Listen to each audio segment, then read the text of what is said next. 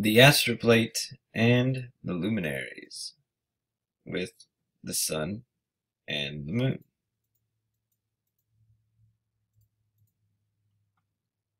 I want to do a more in-depth look at this animation that I made between January 1st, 2016 at midnight to January 5th, 2016 at 6 p.m. And I just want to show the luminaries orbiting the North Pole along the ecliptic within the astroplate. So I'll go ahead and hit play on the animation and I'll slowly start removing and adding the Earth plane and astroplate and removing and adding the luminaries and sun and moon. So right here you can see that, oh and if I move the mouse too much it kind of makes the keyframe animation extension in Google SketchUp act slow when the animation turns so you'll just have to kind of look at what I'm looking for or what I'm talking about. Okay, so if we look at the luminaries like Mercury, Venus, or Mercury, Mars, and Saturn are in orange, while the sun is yellow, the moon is kind of white, bluish white, and Venus is kind of a light purple. I made these colors this way because that is how they look. Those are the colors they exhibit when I look through my telescope. so when I remove the astroplate, you can see the luminaries still orbiting the North Pole. But since the luminaries precede and retrograde along the ecliptic, their circles aren't they aren't perfect circles. They're they're basically spiraling or like spiraling down or winding down. Now the one thing that is hard, whoops, the one thing that's hard to understand, if we just remove the luminaries and look at the sun and moon, is that the sun and moon are on the top half of the plate right now, which is the southern hemicircle of the sky, which means that it's reflected off of the firmament.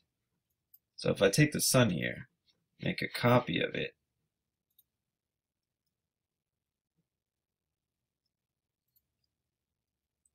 and then hit paste, you can see that the sun, and I, I might actually make an animation for this.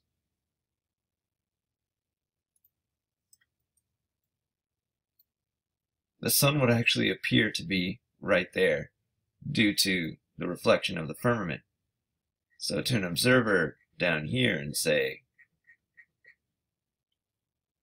Texas, where I'm at, let me get around that vortex. Let's put the camera down there.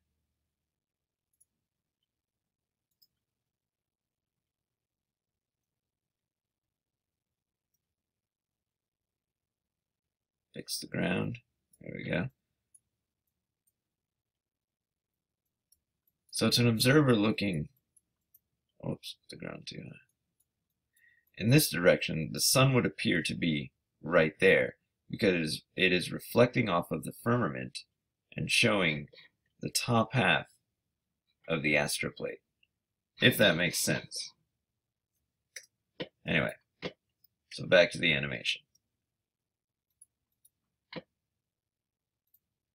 So if we remove the Earth plate, Earth plane and astroplate, now you can see the sun and moon completing their circuits. And you can't really tell, but the sun is proceeding along the ecliptic. If I bring back the astroplate, you can see that since the ecliptic is a half, a half circle along one side of the face of the ecliptic, that as it rotates and the sun moves along the ecliptic, the circle that the sun is making around the North Pole begins to spiral inward and outward.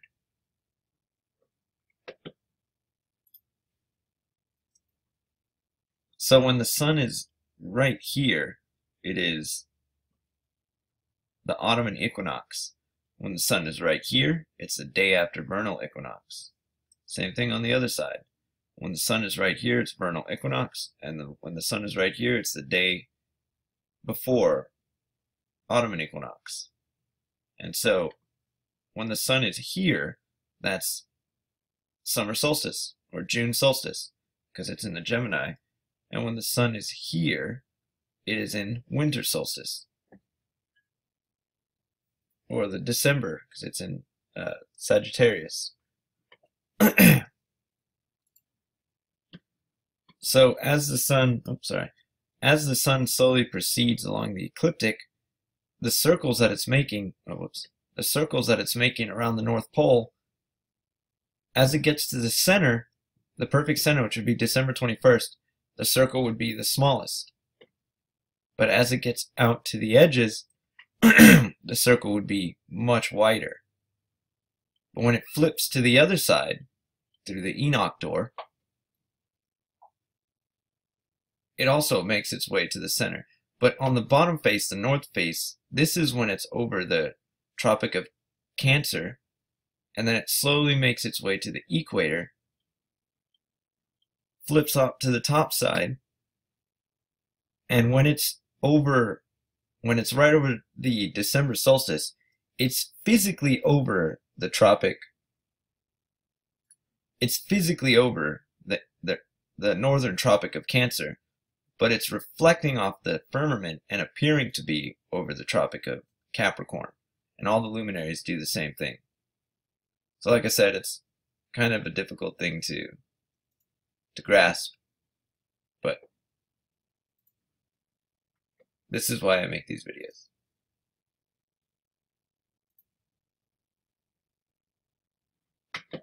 Thanks for watching.